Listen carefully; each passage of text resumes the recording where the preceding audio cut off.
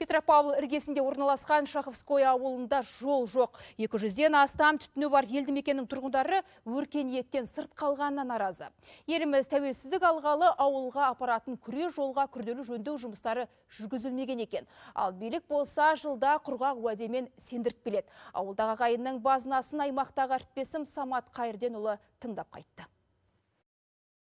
Шаховской елді мекені облыс орталығынан 14 шақырым жерде ғана орналасқан. Қыстың өзін айтпағанда жазда бұл ауылмен байланыс қиындайды.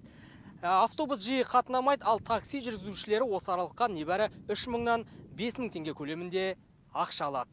Қала іргесіндегі ауыл тұрғындары еліміз егемендік алғалы осы мәселені көтеріп келеді. Себебі шұрық тесік жол жергілікті халықты әбден мезі қылған, ал жаңбырда көлікпен жүрудің өзі қиын. 8 лет мы здесь живем. Мұнда көшіп келгеніме 8 жыл болды. Ұлым қалада жұмыс істейді. Жылда күзде және көктемде әкім келеді де мәселе шешіледі деп уәде беріп кетеді. Қателеспесем 8 жылда 8 әкім ауысты. Осыдан 2 жыл бұрын орташа жөндеу жұмыстарын жүргізгендей болған еді. Бірақ ол қуаныш көпке созылмады. Шаховскойы 260-тан астам түтіні бар ауыл. Жергілікті халықтың басым бөлігі қалада жұмыс істейді. Жолдың жоқтығынан жедел жәрдем қызметі де уақытында келмейді. Дорога ужасная, работаем в городе мы. Қалаға барып келуіміздің өзі мұң, көлігіміз жиі сынады. Әне міне жөндейді деп айтады. Негізі биыл мамырда жұмыс басталуы тиіс еді, ал қазір маусым айының ортасы болды.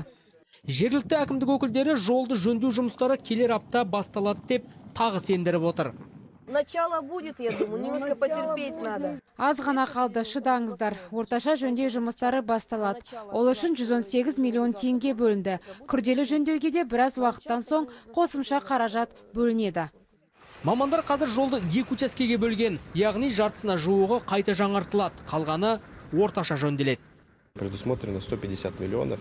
Биылға күрделі жөндеуге әзір 150 миллион теңге қарастырылған. Егер ауа райы жақсы болса, қосымша қаржы бөлінуі мүмкін. Жалпы осы жолда жаңғырту үшін шамамен 900 миллион теңге қаржы қажет. Жоба 2 жылдық, ал биыл тек 3 шақырымдай ғана жол қайта жаңартылатын болады. Солтүстік Қазақстан облысынан Самат Қайырденұлы, Төлеген Иманов, қорытынды жаңалықтар.